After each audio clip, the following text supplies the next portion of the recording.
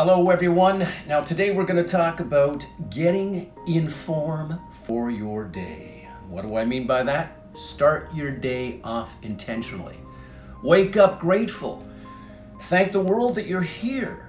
And then say a couple of mantras. You know, mantras are great. Today's going to be a fantastic day. Set your day off intentionally. When you do that, you have a better chance of having a fantastic day.